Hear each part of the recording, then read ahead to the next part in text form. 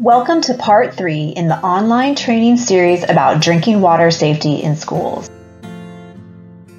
EPA's 3Ts guidance includes several general tips for schools to reduce exposure from lead, including only using water from the cold tap for drinking and cooking, cleaning tap aerators following best practices, and flushing all taps regularly to ensure water is regularly moving.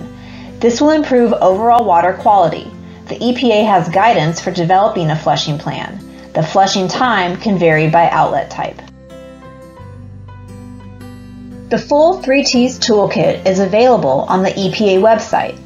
Additionally, the National Drinking Water Alliance has a helpful one page document that explains the importance of testing water in schools and outlines some of the key steps. This is a great communication piece that can be used to build support for water testing. In addition to implementing EPA's 3Ts guidance, schools can consider ways to keep water systems clean and safe when reopening after prolonged facility shutdowns, including school closures related to the COVID 19 pandemic. CDC has developed considerations to help schools safely reopen facilities, help protect students, teachers, administrators, and staff, and slow the spread of COVID 19. Additionally, CDC created the K-12 Readiness and Planning Tool, which can be used to identify any gaps and address and monitor those gaps.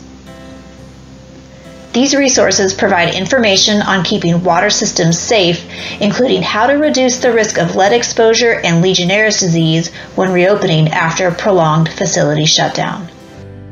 This slide includes the links for EPA's 3Ts toolkit, the Water Safety Fact Sheet from the National Drinking Water Alliance, and resources from CDC, including considerations for schools on how to slow the spread of COVID 19 and how to maintain healthy water systems after prolonged building shutdowns. Thank you for completing this learning module. Please continue to Module 3, which will address key steps schools can take to build effective access for drinking water.